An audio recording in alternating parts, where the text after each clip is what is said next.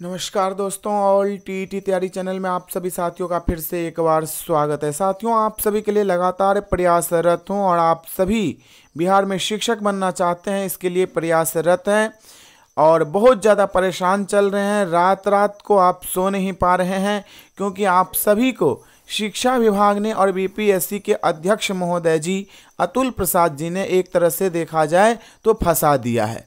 आप बोलिएगा कि कैसे आपको फंसा दिया है? को आप जानते हैं कि आप बिहार शिक्षक बहाली जो चल रही है बीपीएससी के माध्यम से उसमें आपने परीक्षा दिया है, लेकिन आपका परिणाम नहीं आया है। लेकिन के की पाठक जी, ये उनको ये नहीं पता है कि परिणाम अभी तक घोषित नहीं किया गया है शिक्षा विभाग की तरफ़ से। लेटर पे लेटर जारी कर रहे हैं ट्रेनिंग को लेकर के और माननीय मुख्यमंत्री जी के द्वारा दो नवंबर को नियुक्ति पत्र दिया जाएगा इसको लेकर के। क्या अपर मुख्य सचिव के के पाठक जी को यह पता नहीं है कि बिहार लोक सेवा आयोग की तरफ़ से जो उस दिन रिज़ल्ट की घोषणा की गई, वो धरातल पर रिज़ल्ट अभी तक नहीं आया है? और जो रिज़ल्ट आया है, उसमें त्रुटि है। क्या के के पाठक जी को पता नहीं है? ये क्या खेला चल रहा है? क्योंकि आप सभी बहुत ज़्यादा परेशान चल रहे हैं। आप सभी का कुछ महत्वपूर्ण प्रश्न है, उसका जवाब मैंने सोचा कि वीडियो के माध्यम से ही दूँ। कई साथियों का कहना है कि सबसे पहले नियोजित शिक्षक को जो यहाँ पर मौका दिया गया है, आवेदन करने के लिए, और उनके लिए विज्ञापन में लिखा हुआ था कि अलग से किया जाएगा कुछ तो क्या किया जा रहा है नियोजित शिक्षक के लिए? नियोजित शिक्षक यदि फ्रेश रिक्ति पे आएँगे तो उनकी सीट फिर से खाली रह जाएगी। तो ऐसी बहाली का क्या मतलब है? सरकार एक तरफ़ ढिंडोरा पीट रही है कि मैंने एक लाख अस्सी हज़ार या एक लाख पिछहत्तर हज़ार से ज़्यादा या एक लाख सत्तर हज़ार हमने बहाली की। लेकिन यहाँ पर पचास हज़ार नियोजित शिक्षक जो है वो क्वालिफाई कर रहे हैं। पचास हज़ार से ज़्यादा। जहाँ तक हमें जानकारी मिली है कि पचास हज़ार से ज़्यादा नियोजित शिक्षक ही मेरिट लिस्ट में आ रहे हैं। तो आप बताइए कि जब पचास हज़ार सीट नियोजित शिक्षक ही ले लेंगे तो उसमें से कितना बचेगा? जैसे कि एक लाख तेईस हज़ार की बात की गई थी, एक लाख बाईस हज़ार की बात की गई है कि टोटल रिज़ल्ट मैं देने जा रहा हूँ और उसमें से पचास हज़ार आप घटा दीजिए तो सिर्फ़ अस्सी हज़ार बहाली हुई। पचास प्रतिशत भी बहाली नहीं हुई। तो सरकार को, विभाग को इस बात की बात मतलब ध्यान नहीं है कि नियोजित शिक्षक को हम फ्रेश बहाली करने जा रहे हैं और उनकी सीट फिर से खाली हो जाएगी। तो शिक्षक अभ्यर्थियों का मांग है कि भाई नियोजित शिक्षक जो परीक्षा दिए हैं और पास कर रहे हैं तो उनको अपने ही सीट पर राज्यकर्मी बनाया जाए। या ये बीपीएससी के माध्यम से जो भी स्किल दिया जा रहा है, जैसे बहाली की प्रक्रिया की पूरा विज्ञापन है, उसी में उनको जो है समायोजित किया जाए। फ्रेश सीट पे उनको क्यों लाया जा रहा है? ये बहुत ही महत्वपूर्ण प्रश्न है और नियोजित शिक्षक भी चाहते हैं कि हम जिस सीट पर हैं, उसी सीट पर हम आगे बने रहें। कई साथी हमारे कहेंगे, हम तो ट्रांसफ़र के लिए दिए थे परीक्षा। अरे भैया, स्थानांतरण के लिए जो आप परीक्षा दिए थे तो ये स्थानांतरण की परीक्षा नहीं है। स्थानांतरण के लिए हम लोग प्रयास कर रहे हैं, और वो प्रयास सफल भी होगा। लेकिन अभी किसी को नौकरी लग जाएगी, ये कितनी अच्छी बात होगी। उनके घर में दिया जलेगा, खुशी होगी। आप इस बात को नहीं जानते हैं। तो विभाग से निवेदन है, सरकार से निवेदन है कि नियोजित शिक्षकों को फ्रेश सीट पे न लाया जाए। उनको अपने ही सीट पर राज्यकर्मी मानते हुए या जो भी आप अभी बीपीएससी के माध्यम से प्रक्रिया कर रहे हैं, उसी प्रक्रिया के अधीन उनको रखा जाए। दूसरा प्रश्न आपका ये है कि ये जो ट्रेनिंग की बातें चल रही है और मुख्यमंत्री द्वारा जी द्वारा जो नियुक्ति पत्र दिया जाएगा तो रिज़ल्ट तो पहले जारी कर दिया गया। और अभी तक आपके बीच में रिज़ल्ट आया नहीं। ट्रेनिंग से पहले आपको नियुक्ति पत्र नहीं दिया जाएगा। तो कुछ साथी का कहना है कि हम जूनियर जो हो जाएँगे, वो किसके वजह से होंगे? क्योंकि अपराहन और पूर्वाहन में भी जूनियर हो जाता है। एक दिन जैसे योगदान हम लोग करते हैं तो जो पूर्वाहन में करेगा वो सीनियर रहेगा, जो अपराहन में करेगा, वो जूनियर हो जाएगा। तो यहाँ तो पंद्रह पंद्रह जी का पंद्रह पंद्रह दिन का फ़र्क हो जाएगा। तो ये पंद्रह दिन का जो फासला है, उसको कौन भरेगा? के के पाठक महोदय जी भरेंगे, या बीपीएससी के अध्यक्ष महोदय जी, अतुल प्रसाद जी भरेंगे? तो इसको लेकर भी हम लोग केस करेंगे। इसको लेकर भी हम लोग लड़ेंगे कि जब रिज़ल्ट एक दिन प्रकाशित कर दिया गया तो हम सभी के बीच में क्यों नहीं आया? और यदि ट्रेनिंग ट्रेनिंग ही कराना है के के पाठक जी को तो सुव्यवस्थित व्यवस्था क्यों नहीं कर रहे हैं? पच्चीस हज़ार का भी ट्रेनिंग होगा, पच्चीस का फिर ट्रेनिंग होगा, पच्चीस हज़ार का फिर ट्रेनिंग होगा पच्चीस पच्चीस हज़ार करके ट्रेनिंग होता रहेगा, नियुक्ति पत्र मिलता रहेगा तो ये कितने चरणों में बहाली की प्रक्रिया चलेगी और कितने चरणों में ये नियुक्ति पत्र बांटेंगे? किसी भी बहाली का नियुक्ति पत्र एक दिन ही बांटा जाता है। पूरे जितने भी विज्ञापन में आ, मतलब सफल अभ्यर्थी होते हैं उनका नियुक्ति पत्र का डेट जो है वो एक ही होता है। और योगदान करने की यदि बात रही तो उसी नियुक्ति पत्र में लिखा होता है कि पंद्रह दिन में आप योगदान कर सकते हैं। कोई भी पंद्रह दिन का इंतज़ार नहीं करता है तुरंत जाकर के योगदान कर लेता है क्योंकि सीनियर और जूनियर का फ़ायदा उसको मिलता है। तो यह प्रश्न भी आपका था कि सीनियर और जूनियर जो हम हो जाएँगे तो हम क्यों सहेंगे? हम कोर्ट जाएँगे।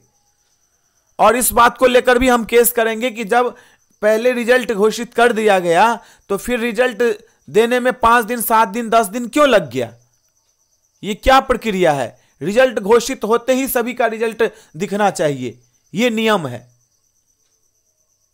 और आपका एक प्रश्न ये भी है कि ये जो रिज़ल्ट दिया गया है, उसमें एक सीट पर देना था जो अभ्यर्थी चाहते थे, उनको एक पर देना था टेन प्लस टू में ही जाना चाहते थे तो उनको टेन प्लस टू में ही देना था और दूसरा जो है वो, नाइन टेंथ में जाना था चाहते थे तो नाइन टेंथ में ही देना था वन टू फाइव में जाना चाहते थे तो वन टू फाइव में ही देना था क्योंकि एक नंबर पर उन्होंने वही रखा था। और यदि उनका उस विषय में बहाली नहीं होता, तब दूसरा देखा जाता। तो यहाँ पर आपने सबको रिज़ल्ट दे दिया, आपने विज्ञापन का खुद क्या किया है? अवहेलना किया है। तो इसको लेकर भी आप परेशान हैं, आप परेशान मत होइए। शिक्षक अभ्यर्थियों का कहना है कि सेकेंड मेरिट लिस्ट भी जारी होना चाहिए। क्योंकि वन टू फाइव में बहुत ज़्यादा हमारे ऐसे साथी हैं जो अपेयरिंग वाले हैं, जो सी टेट दिए लेकिन सफल नहीं हो पाए। कोई डीएलएड में ही एक विषय में फेल हो गया है। तो उनका रिज़ल्ट जो आपने प्रकाशित कर दिया है उस सीट पर दोबारा से जो है वो काउंसलिंग होनी चाहिए। उस सीट का मेरिट लिस्ट अलग से होना चाहिए। ये मेरा प्रश्न नहीं है। ये बिहार के तमाम शिक्षक अभ्यर्थियों का प्रश्न है और मांग है।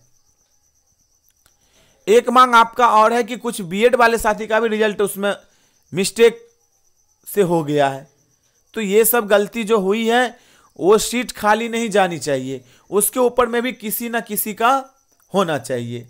और आप स्क्रीन पर देख रहे होंगे, बिहार सरकार द्वारा शिक्षण प्रशिक्षण के संबंध में ये फॉर्म भराया जा रहा है और प्रशिक्षण चल रही है ज़ोर शोर से। लेकिन रिज़ल्ट कहाँ है? रिज़ल्ट आएगा तभी ना कोई प्रशिक्षण करेगा। इसमें सब कुछ दिया हुआ है। सब कुछ यहाँ पर जो है भरना होगा। लास्ट में देखिए, योगदान पत्र बीपीएससी प्रवेश पत्र एवं आधार कार्ड की स्व प्रमाणित छाया प्रति संलग्न करे। योगदान पत्र। यहाँ पर कह रहा है कि वहाँ पर देने के लिए। और ये प्रोविजनल योगदान पत्र दिया जा रहा है। वो फाइनल योगदान पत्र नहीं है। ई कौन सा नियम आ गया भाई? योगदान पत्र भी दो तरह का। प्रोविजनल अलग और फाइनल अलग। तो आपका मांग ये है कि ऐसा नहीं होना चाहिए था। एक साथ रिज़ल्ट एक साथ ट्रेनिंग एक साथ सभी को नियुक्ति पत्र। और एक साथ सभी अपना जाते विद्यालय में योगदान करते। अब कई साथी का कल फ़ोन आ रहा है, जो नियोजित शिक्षक हैं, उनका कहना है कि देखिए, मैं पहले से ही सिक्स टू एट में हूँ। वन टू फाइव में मैंने परीक्षा दिया और हमको दूर भेज दिया गया है। अब दूर में यह लेटर आता है कि चॉइस नहीं दिया जाएगा विद्यालय का। सबसे पहले सुदूर भेज दो जहाँ पर वो जाना नहीं चाहता है। तो स्वाभाविक है, कोई नहीं जाएगा। तो वो भी सीट खाली रह जाएगा। तो ये किस प्रकार की षड्यंत्र जो है वो चल रही है शिक्षा विभाग और बीपीएससी के बीच, ये किसी को पता नहीं चल रहा है। मतलब मन मर्ज़ी कोई कुछ लेटर निकाल दे रहा है, कोई कुछ लेटर निकाल दे रहा है, बीच में पिस कौन रहा है तो शिक्षा का अभ्यर्थी। आज भी रिज़ल्ट उनको प्रकाशित कर देना चाहिए। किसी भी हालत में। अब क्यों नहीं कर रहे हैं? इसकी वजह कोई नहीं पूछ रहा है। शिक्षा विभाग बीपीएससी से पत्र के माध्यम से क्यों नहीं पूछ रही है कि जब आपने परिणाम घोषित कर दिया और सभी लेटर में